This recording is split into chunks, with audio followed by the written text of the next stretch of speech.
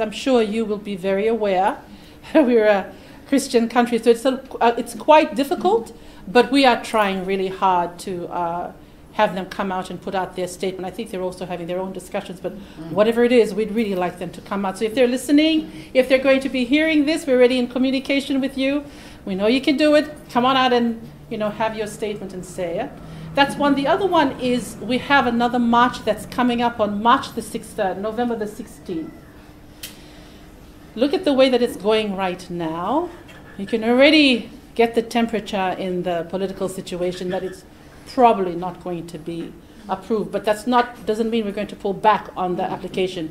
We're going to push it all the way through. The thing is, we have to come up with plan Bs, and we have to know that even though we come across November the 16th, there's no much. We are going to be gathering. We're going to continue to do whatever we can in our small spaces. So I would just want to also give a shout out to the people who are planning the march for this Saturday. We're already writing our little press releases in our own organizations to post it as, and far, as far and wide as we can that the point was not about the security of the nation, it was about them doing their jobs and providing safe passage for the protesters to, you know, enable them to have their own say. So when it comes to ours as well on November the 16th, no matter where we are, I'd like to rest assured, you know, give you assurance that the NGO Coalition, we are going to be planning things. And the more people turn up in numbers, the better it will be, you know, for us to raise our voices. I think that's all from the NGO Coalition so far. Is there anything else? Not for me. Anybody else from the NGO Coalition? I just wanted to say that if you are planning things Mm-hmm. and, uh, you know, let us all know so we can all be together. Uh, this is hopefully a safe space. Mm-hmm. Uh, we will continue to hold these vigils, one next week and so on. We'll keep letting you know. I think we need to have that presence. Uh, and uh, for the march on the 16th, uh, the uh, LTA has given us the permit.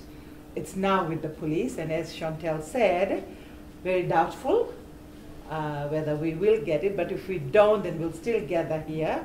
We'll let you know what we are doing and have within our own uh, uh, fences and uh, try and make some noise again if we don't get that.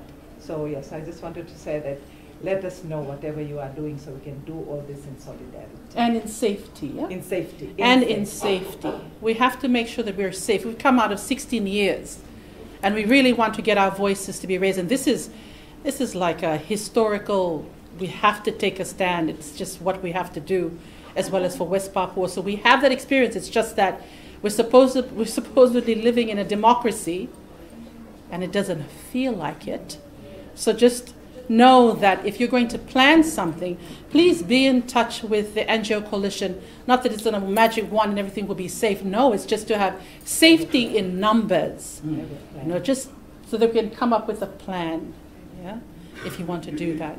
Okay. It's like a friend of mine said to me today, wrote to me and said, it's democracy by permission of the military. That's what we have right now, and we, as Fijians, we have to keep fighting against it. Last, the last 16 years have been very hard, and uh, you know we're not going to jump out of the frying pan into the fire, and we have to keep fighting for this and keep raising our voices without fear. But what Chantelle talked about, the safety plan, it's really important. Whatever we are organizing, we have a safety plan and uh, you know, and and uh, and if you need to work out, I know the young people want to, uh, you know, march, the students and so on want to do other things. We can work out with you. We thought the march was going to take place. We are planning to actually today sit down with the people who organized the march at USP and uh, work out a safety plan, whether you had one already or not. If you didn't, we were there. So.